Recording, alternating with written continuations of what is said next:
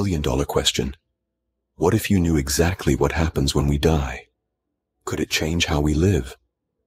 These questions, though seemingly simple, plunge us into a complex web of speculation, belief, and mystery. The universal nature of death is one of the few certainties that binds us all, no matter our race, religion, or geographical location. Yet, despite its inevitability, the enigma surrounding death remains largely unsolved. In every corner of our world, death is a topic that stirs a myriad of emotions. Fear, curiosity, sorrow, acceptance. Such is the spectrum of feelings that this singular event can evoke. Yet isn't it fascinating how the one certainty of life, its end, is also its most profound mystery? Over the course of this video, we will get into the depths of this mystery, exploring the different perspectives on death and what may lie beyond. Each culture, each religion, each scientific theory, and each individual holds a unique viewpoint. Some see death as the end, a simple cessation of existence. Others view it as a gateway, a transition to a different form of being. And yet, some perceive it as a cyclical process, a wheel of birth, death, and rebirth. In this video, let's explore these cultural perspectives, diving into the rich tapestry of beliefs about the afterlife, reincarnation, heaven, and hell. Let's touch on the scientific theories and studies related to near-death experiences and the physiological changes that occur during the dying process.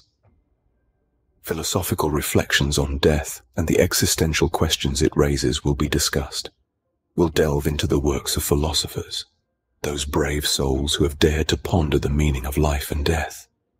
We'll also examine the evolution of views on death throughout history and share personal stories from those who have had near-death experiences or profound thoughts on the subject. We'll address the psychological and practical aspects of death and explore how mortality is portrayed in literature, art, music, and cinema. And finally, let's tackle the ethical dilemmas related to end-of-life decisions. So, brace yourselves and please like this video and subscribe to the channel if you haven't already. Let's embark on this journey, confronting the ultimate unknown, death. How does a Tibetan monk view death compared to an American atheist? It's a question that opens the door to a fascinating exploration of cultural perspectives on mortality. As diverse as our world is, so too are the beliefs about what happens when life ends. In the highlands of Tibet, for instance, Death is seen as a transition, a stepping stone to a new life, embodying the concept of reincarnation. On the other hand, an American atheist might see death as the final act, with no encore. In the heartlands of India, the soul is believed to embark on a journey towards a heavenly abode or perhaps a cycle of rebirth, depending on one's karma. Contrastingly, in the secular societies of Scandinavia, death might be perceived as a natural, biological process, devoid of spiritual implications. So, death, it seems, holds a myriad of meanings across cultures. What does science have to say about death? Well, let's dive in. Science offers a biological perspective on death, primarily focusing on the cessation of vital bodily functions. However, it also delves into the fascinating realm of near-death experiences, these are intriguing phenomena often reported by individuals who have survived a close brush with death. They describe experiences of moving through a tunnel, encountering spiritual beings, or sometimes even a sense of peaceful detachment from the physical world. For science, this is seen as the brain's response to extreme stress. Studies suggest that in these moments the brain releases neurochemicals, creating a vivid, dreamlike state. The body, in its fight for survival, may be trying to mitigate the fear and pain associated with dying. Moreover, science also explores the physiological changes during death. As life ebbs away, the body undergoes a series of changes, starting from the shutting down of organs to the cooling of the body. From a scientific perspective, death remains a complex and fascinating process. What do philosophers make of this inevitable end we all face? Philosophy, the love of wisdom, has long grappled with the existential questions that death presents.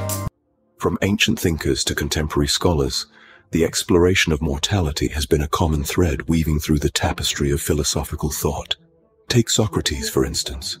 In the face of his own impending demise, he famously stated that, to fear death, gentlemen, is no other than to think oneself wise when one is not, to think one knows what one does not know.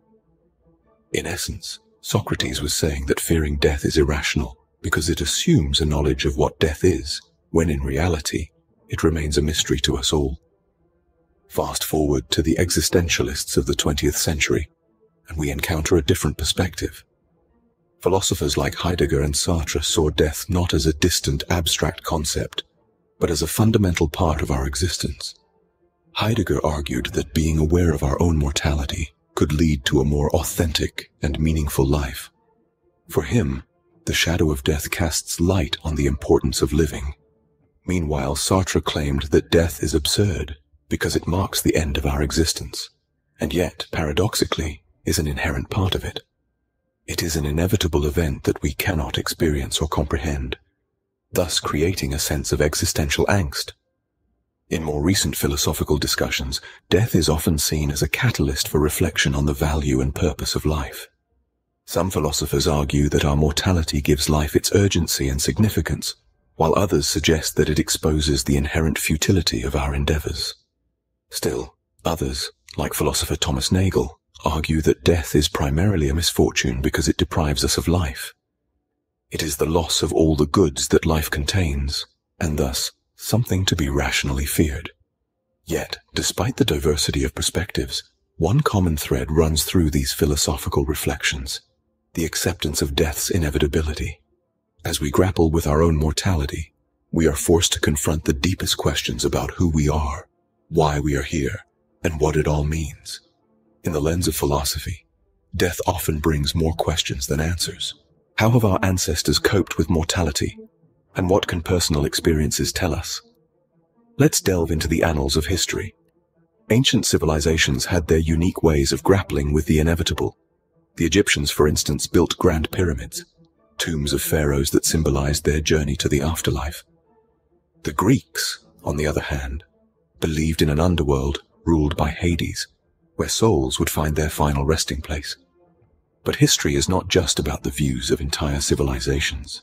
It's also about personal narratives that weave a rich tapestry of human experience. Consider the poignant words of a man who had a near-death experience. In that moment, I felt an overwhelming sense of peace. It was as if I was stepping into a realm beyond the physical, beyond the tangible.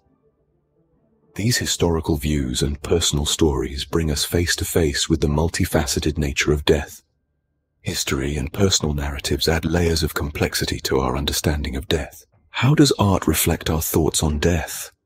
Art, in its myriad forms, has long been a medium through which we navigate our feelings and beliefs about mortality. Literature, for instance, is teeming with contemplations of death, from Shakespeare's tragic heroes meeting their untimely ends to modern novels exploring the complexities of grief and loss. In visual arts, death has been personified, feared, and even celebrated. Artists like Frida Kahlo and Damien Hirst have used their work to confront and challenge our perceptions of dying. Music, too, is a powerful conduit for our thoughts on death. From Mozart's haunting Requiem to the somber melodies of Johnny Cash's final album, musicians have long used their craft to grapple with mortality. Even cinema, our most modern art form, is not immune to this fascination. Films like The Seventh Seal and A Ghost Story present unique perspectives on death and the afterlife. Art, in its various forms, often serves as a mirror to our collective consciousness about death. What ethical dilemmas arise when we contemplate death? A complex query indeed. As we broach the finality of life, the ethical considerations become a labyrinth of questions that challenge our moral compass. Let's begin with the end-of-life decisions. These are choices concerning the care one wishes to receive when they're no longer able to express informed consent. They stir up ethical quandaries due to the balance that needs to be struck between respecting individual autonomy and preserving life. It's a delicate dance between the person's right to control their life and society's interest in preventing harm to its members. Then we have euthanasia, often referred to as assisted dying. This is where the waters become murkier. One side argues for the right to die with dignity, to avoid unnecessary suffering. The other side counters with the sanctity of life, and the slippery slope argument that legalizing euthanasia could lead to non-voluntary or even involuntary euthanasia. And let's not forget the responsibilities of healthcare providers. They are often caught in the crossfire of these ethical dilemmas, tasked with the heavy burden of respecting patient autonomy acting in the best interest of the patient and doing no harm. But what happens when these principles clash? It's a moral tug of war that healthcare professionals grapple with daily. In summary, death is a complex, multifaceted topic that stirs up a plethora of emotions and questions. We've explored cultural perspectives, scientific viewpoints, philosophical reflections, historical views, and personal stories, all of which offer unique insights into this universal certainty.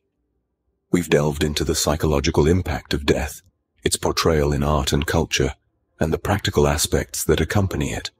And finally, we've navigated the murky waters of ethical considerations surrounding death. So as we've journeyed through these varying perspectives and considerations on death, it becomes clear that it's not just about the end, but also about the journey. It's about the decisions we make, the values we uphold, and the legacy we leave behind. In the face of death, perhaps the most profound question remains. How should we live?